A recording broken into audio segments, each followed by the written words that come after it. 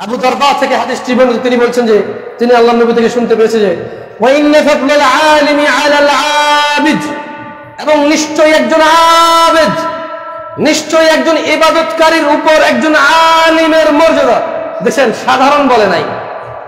সাধারণ মুসল্লি থেকে বলে নাই। বলছে, যারা ইবাদত করে, যারা কি করে? যারা আল্লাহর ইবাদত করে, আল্লাহকে ইবাদত বন্দুকি করে, এদের মধ্যে থেকে যে লোকটা জ্ঞান অর্জন করে আলেম হয় আচ্ছা আলেম কি আলাদা টাইটেলও এই জিনিসটা তো একটা সন্দেহের মধ্যে পড়ে যাবেন আপনারা। মানে এই যে আলেম আলেম বলতেছি মানে কি এটা আসলে? মানে কি ডিগ্রি পাশ করার পরে, কামেল পাশ করার পরে লেটার পাওয়ার পরে, মদিনা বা মিশর বা দেওবন্দ, হাটাজারি থেকে কিছু নিয়ে আসার পরে এই আলেমের কথা বলতেছে? আর যদিও ওরা আলেম হিসেবে মানে চিহ্নিত করা সহজ ওনাদেরকে। চিহ্নিত করে কি? কিন্তু এখানে যে আলেমের কথা বলতেছে সেটা হচ্ছে জ্ঞান। যে লোকটা জ্ঞান অর্জন করে, যে লোকটা কি করে? যে লোকটা কি করে? হারাম হালালের পার্থক্য করার জন্য নিজেকে জ্ঞানী করে। কোনটা আল্লাহ পছন্দ করে, কোনটা আল্লাহ অপছন্দ করে, এই ব্যাপারে নিজেকে জ্ঞানী করে, সচেতন করে, ওই লোকের কথা বলতেছে। মানে সার্টিফিকেট লাগবে না এই জায়গায়, ইনশাআল্লাহ। বুঝেন নাই? সার্টিফিকেট লাগবে না এই জায়গায় এ, বলছে যে নিশ্চয়ই একজন আবেদ মানে একজন ইবাদতকারীর উপর একজন আলেমের মর্যাদা হলো এমন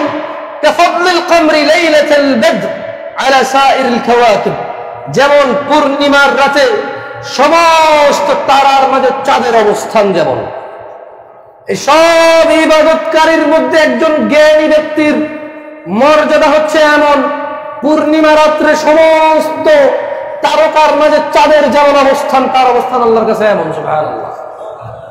এই সুযোগ, এই সুবর্ণ সুযোগ, এই মর্যাদা, এই সুবিধা থেকে বঞ্চিত হবে তারা যারা কোরআন পড়ে না, যারা কোরআন পড়ে বুঝার চেষ্টা করে না, যারা কোরআন পড়ে বুঝে নিজেকে সংশোধন করার চেষ্টা করে না, তারা বঞ্চিত হবে।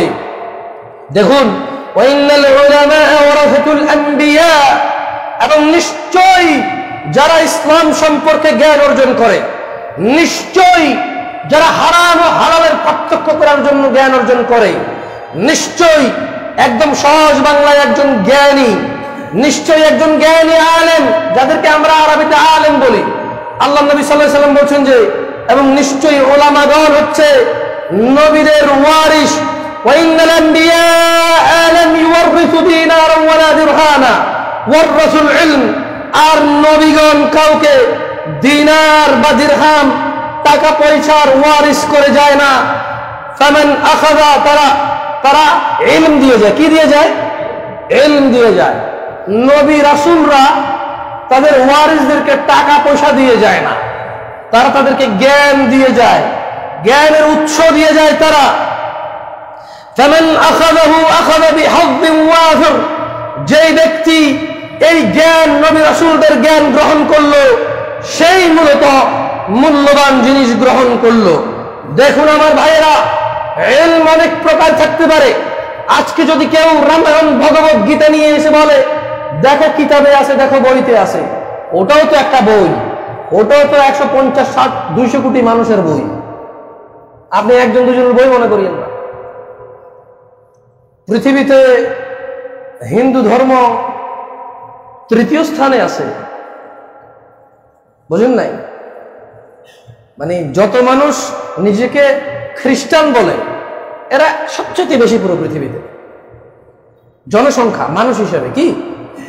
জনসংখ্যা। এখন কোন ব্যক্তি প্রকৃত খ্রিস্টান, এটা তো আপনি জানেন আমি জানি যে যদি কেউ প্রকৃত খ্রিস্টান হয়, ঈসা আলাইসাল্লামকে মানতেই যায় তাহলে সে মুসলমান। কারণ ঈসা আলাইসাল্লাম ওদেরকে আল্লাহ নবী সাল্লাহ সাল্লামের লিড দিয়ে গেছে। এই যে নলেজ কি? নলেজ দিয়ে গেছে।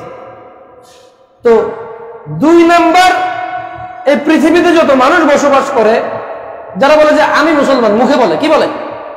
মুখে কি বলে? আমি মুসলমান। মুখে বলে বলছে, খেয়াল করিয়ে। অথবা সে জন্মসূত্রে মুসলিম, যদিও ইসলামে এরকম সূত্রে মুসলমান হওয়া যায় না। এটা তার দাবি, এটা তার মানে জোর জবরদস্তি আর কি, বুঝেন নাই? এটা তার দাবি, তার জোর জবরদস্তি। এই ধরনের লোক সহকারে মিলে মুসলিমরা জনসংখ্যা আছে দ্বিতীয় নম্বরে। কয় নম্বরে?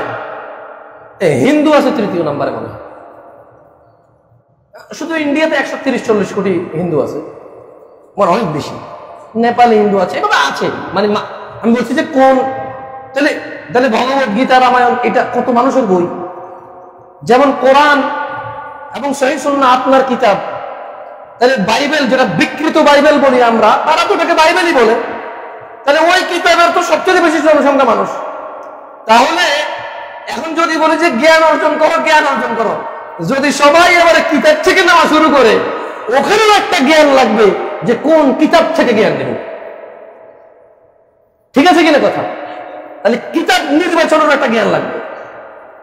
একদিকে বলবেন যে কোরআন সবচাইতে পিওর বই, কোরআন সবচাইতে বিশুদ্ধ বই আরেক দিকে আপনি যদি পন্থী, তরিকাপন্থী বই নিয়ে ধর্ম শিখে পালন করা শুরু করেন, তাহলে তো আপনার কথায় কাজে মিল হলো হলো? হলো না আমার ভাইরা দেখুন, জ্ঞান অর্জনের প্রধান উৎস হবে কোরআনুল করিম। আজকে এখানে যদি আমি আমার ভাইদেরকে জিজ্ঞেস করি, কয়জনই বা পড়তে পারে এই বই? আচ্ছা কয়জন পড়তে পারে এই কথা বলে আমি মানে এটা প্রশ্নই করলাম না, জান। আমি তর্কের খাতিরে ধরে নিলাম এই মসজিদে আজকে যত মুসল্লি উপস্থিত আছে। সবাই কোরআন করিম পড়তে জানি আমরা, তর্কের খাতিরে ধরে নিলাম। তো জ্ঞান অর্জনের জন্য প্রধান উৎস হচ্ছে কোরআন। আজকে এই মসজিদে উপস্থিত হওয়া আমরা কতজন গত শুক্রবার থেকে এই শুক্রবার পর্যন্ত কোরআন পড়েছি? আশি জন পড়েনি। আমি হাতে রেখে কথা বলছি, আপনি বলতে পারেন যে, জামশেদ ভাই, একটু ভুল হয়ে গেল কথাটা? নামাজ তো তারাই পড়তেছে, যারা একটু ভালো মুসলমান। তো তারা নিশ্চয়ই কোরআন পড়ে, এটা আপনি বলতে পারেন। আমি ভুল বলিনি, আপনি চেক করিয়েন। আমি মিনিমাম বারো জন হাতে রাখছি, তারপরও। মানে বারো জন কমাই বেশি। আশি জন কইছি, হাতে রেখে কথা বেশি এই মসজিদে উপস্থিত একশো জন আজকের মুসল্লির মধ্যে, ধরলাম একশো জন কোরআন পড়তে জানে। কিন্তু গত সপ্তাহ থেকে এই সপ্তাহ পর্যন্ত আশি জন, একবারও ফোনে দেখেনি কোরআন। মিনিমাম আশি জন। তারপরও এইভাবে তো আর বলা যায় না, আন্দাজ করে কথা, আমি ভুলও হতে পারি। আমি ভুল হতে পারি। কিন্তু এরকম আমার মনে হয়, আমার মনে হওয়া কিন্তু দিন ইসলাম না। আমি ভুল হতে পারি। তবে এরকম আমার মন বলে। অনেক মানুষকে প্রশ্ন করেছি তো, এক, বিশ জনকে প্রশ্ন করলে একজনও বলে পড়ে নাই। তো ওই হিসেব করে কথা বলছে। যাই হোক, আমার ভাইয়েরা জ্ঞান অর্জনের প্রধান উৎস হবে আমাদের কোরআন করিম। কেন? কিতাব। এটাই হচ্ছে সেই কিতাব।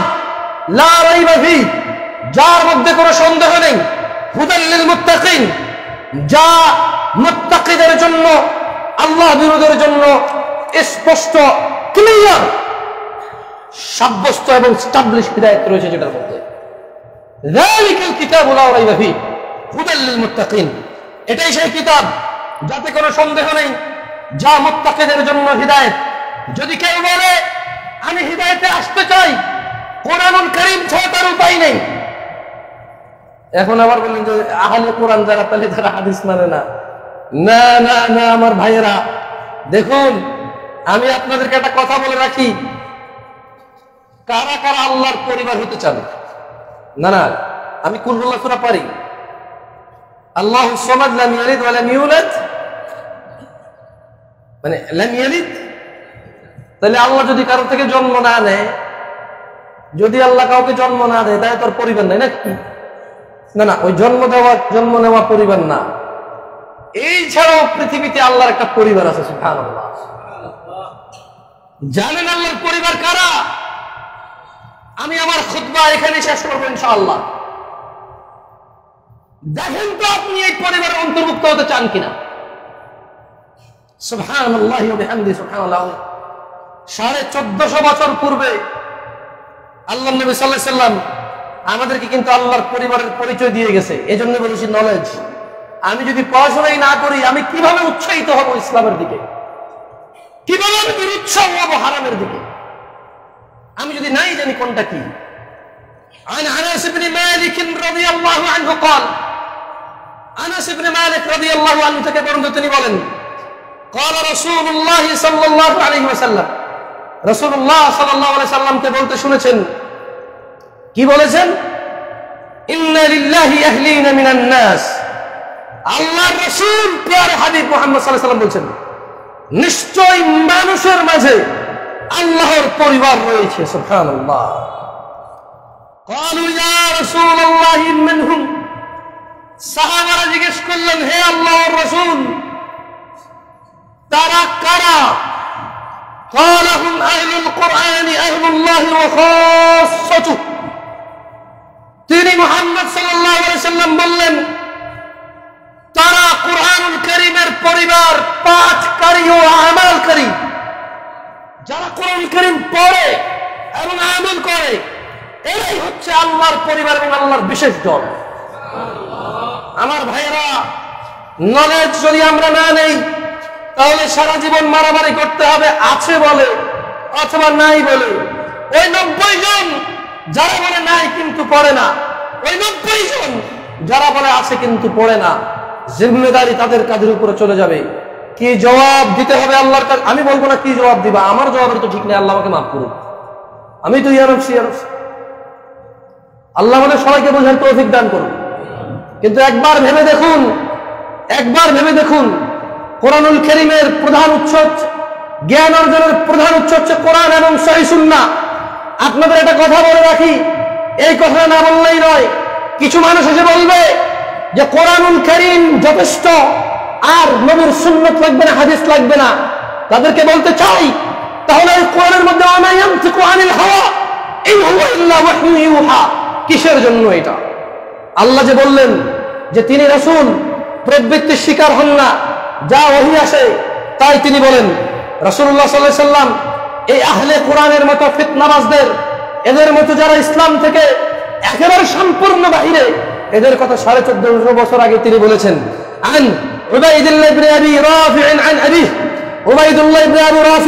তিনি তার পিতা থেকে বর্ণনা করেছেন রসুল أن رسول الله صلى الله عليه وسلم قال الله رسول صلى الله عليه وسلم বলেছেন لا ألفين أحدكم متكئا على أريكته আমি যেন তোমাদের কাউকে এমন ভাবে না পাই যে তার আসনে হেলান দিয়ে বসে থাকবে আল্লাহ নবী বলছেন যে তোমাদের সবার মধ্যে যাতে আমি এমন কাউকে না পাই যে হেলান দিয়ে তার আসনে বসে আছে আর এমন সময় কি হবে ইয়াতিহিল আমরু মিম্মা আমারতু বিহ। এবং এই হেলান দিয়ে বসে থাকা অবস্থায় আল্লাহর নবীর পক্ষ থেকে কোন আদেশ পৌঁছালো। অথবা আল্লাহর নবীর পক্ষ থেকে কোন নিষেধ পৌঁছালো। আর সে বলবে, কি বলবে? আমি কিছুই জানি না। আমি কিছুই জানি না। এমন কিছুই তো আমি আল্লাহর কিতাব কোরআনে পাইনি। আল্লাহর নবী নিষেধ করেছেন তিনি বলেছে তোমাদের মধ্যে যাতে এমন কাউকে না পাই যে বসে আছো এমন সময় হাদিস থেকে আদেশ আসলো এমন সময় হাদিস থেকে নিষেধ আসলো আর তুমি বললা ভাই এই আদেশ বা নিষেধের ব্যাপারে তো কোরআনুল করিমের কোনো আয়াত নাই আমি তো জানি না কিছুই তিনি বলেছে খবরদার নিষেধ যারা সুন্নতকে অস্বীকার করে যারা হাদিসকে অস্বীকার করে তারা ইসলামের মধ্যেই নাই তারা ইসলামের মধ্যেই নাই যাই হোক أقول قولي هذا واستغفروا الله لي ولسائر المؤمنين والمؤمنات فاستغفروه إنه هو الغفور الرحيم. شو الله يستغفر كلنا